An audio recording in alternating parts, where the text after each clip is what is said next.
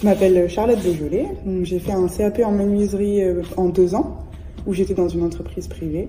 Et aujourd'hui, je travaille euh, au château de Caen, dans les deux musées, en tant que technicienne muséographique, avec un petit bagage en menuiserie euh, en supplément.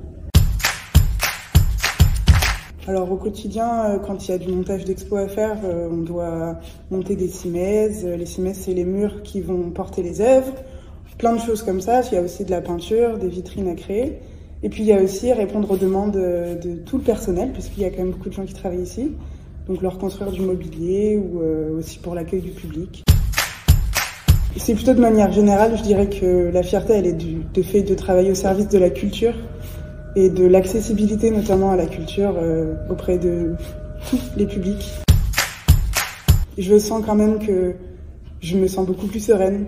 C'est totalement différent que de travailler dans le secteur privé. Euh, j'ai tout autant de travail, mais je le fais de manière plus sereine et ça, c'est quand même agréable. C'est une capsule sensorielle euh, qu'on a installée pour euh, permettre aux personnes malvoyantes de pouvoir se représenter cette façade de maison normande. Donc, ici, elle peut toucher pour se représenter les poutres en chêne et les pierres.